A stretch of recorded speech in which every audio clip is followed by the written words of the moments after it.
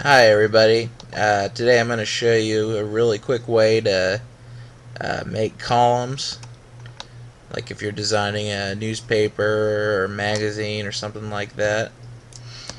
Alright, let's go ahead and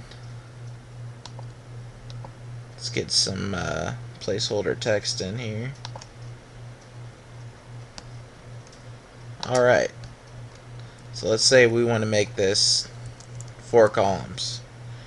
We're simply going to hit Control B on Windows and this little text frame option pops up. You can choose however many columns you want. Let's say I want to do three. There you go. You can also go up here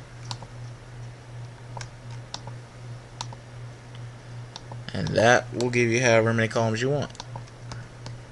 And that's it.